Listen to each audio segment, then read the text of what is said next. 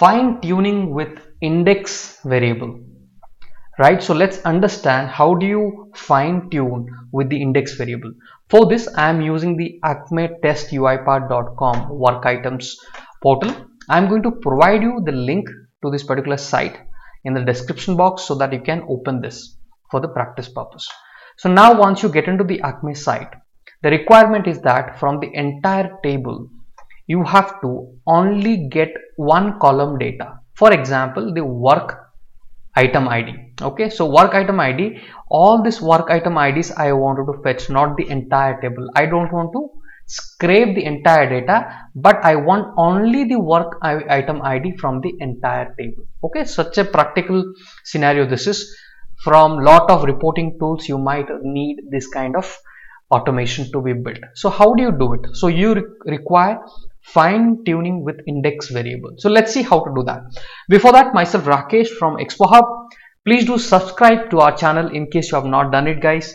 And please, please do like all our videos for the efforts that we put to bring forward the knowledge that you need. Thank you very much. Being said, let's get started. So now here what I'm going to do first thing is I have to open the browser right so uh, in that browser I have to work so here I'll be using a partial selector and for partial selector this time I'm going to use the attach browser. So when you're using attach browser this becomes a partial selector. There's a video video already. I hope you have already seen that to understand full uh, selectors partial selectors. So here I'm using the partial selector.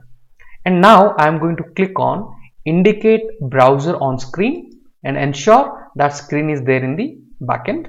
And I'm going to highlight the entire screen okay so the moment I do it and try to look at the selector you can see it has selected HTML so HTML is a tag and this is your attribute which is chrome.exe title acme system.one work items. Okay it is pulling the required details for us.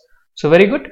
Now moving on I wanted to pull only the text in specific column. So for that I'll be using an activity called get text. Okay using the get text activity I'll be pulling the data. So let me do one thing here I need to click on indicate element inside a browser and I'm going to highlight the very first one okay. So before working on selector you must understand the behavior of that application or web page how it is behaving okay just to understand how my selectors are behaving i'm going to select the very first item okay the moment i do it and try to open the selector and the best way when you're dealing with such things best thing is you always open UI Explorer and try to check things there. So I have done that. Then here you can click on open UI Explorer or you can go directly from here UI Explorer and open it. So you can either either way you can do it. Let me open uh, in UI Explorer and there we will understand how the behavior is changing. Okay?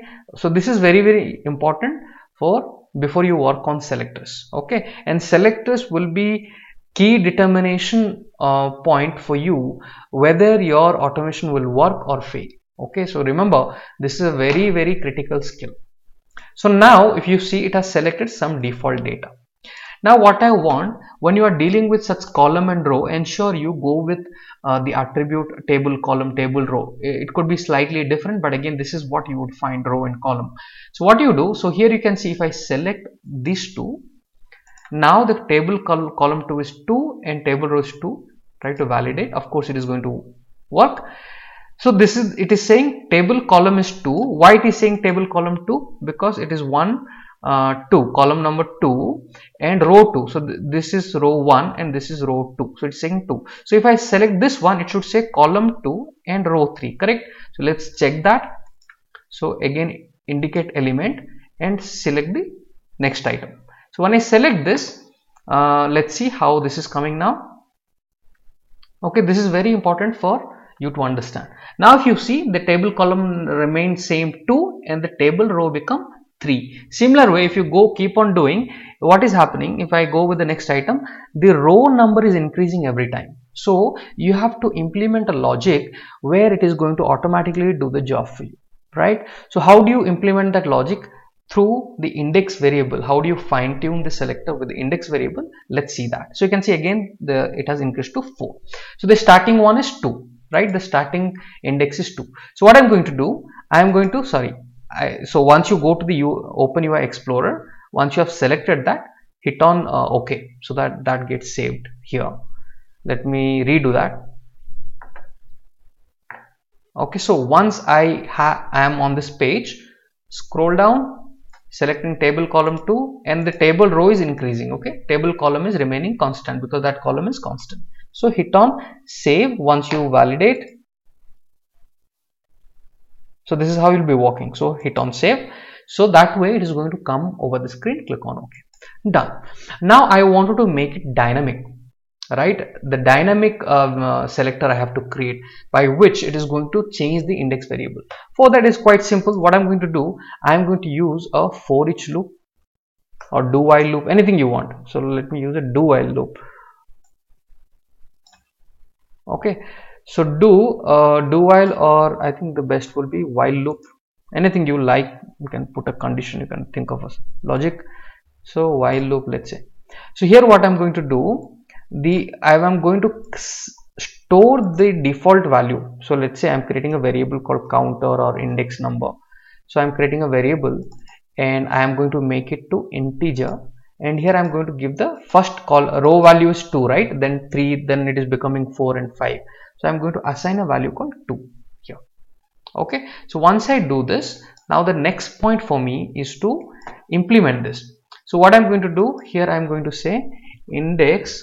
Let's say that you want to retrieve 10 values 100 values depending on the uh, number of data you have. Let's say index is less than 10 let's say. I'm going to retrieve 10 values.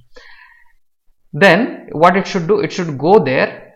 Okay? So here it should go and get the text for me okay whatever the text is so what i have to do i have to go you know i am dragging and dropping this get text activity inside the while loop. Clear? Now here in the get text I am going to change the selectors. Okay? So how do you so this one is changing right? So what you do just highlight this particular variable 2 okay? Just highlight this and you do a right click okay properly highlight. Do not highlight everything. Let's say i'm going to highlight like this and try to right click i may not get an option. Okay so ensure you are only selecting that particular value 2 okay be careful. And now right click so now you will have option choose variable. So what I'm going to do, I'm going to choose the variable index which I have just created which is uh, default value is 2. So I'm going to choose this. So you see how it has been how it has written index. Okay then validate and click on ok. So what I'm going to do now while this loop is running inside that I'm going to use assign activity and I'm going to increase it. Okay. So here I will say index is equal to index plus 1 so that way the value is increasing. So that next time when it comes into the loop the selector will take 3 then 4 like that all the data will come. So index plus 1 okay done so now this is done this is going to work and what output i want i want let's say i will use a write line activity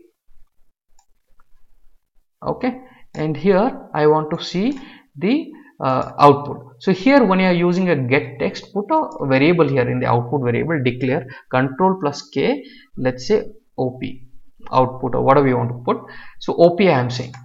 Now once the output derives into this, I want to write this. So I will say wid.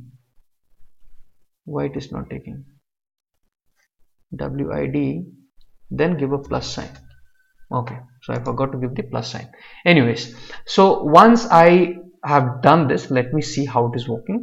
Save it and hit on run okay? So now dynamically it is going to go through that loop and start writing the values for me. So let's see that. You see? All the work id starting from 815 to the 826 all the values have been pulled for me. Okay?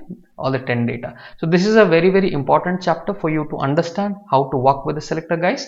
Thank you very much for watching. I'm going to provide link to this particular archimedes site. You can uh, save it in your browser. Okay? You save it so that you can utilize and lot many examples. Uh, thank you very much. As i always request you for all the efforts that we put to bring forward the knowledge i am requesting you to please please please like all our videos. Thank you guys. Have a wonderful day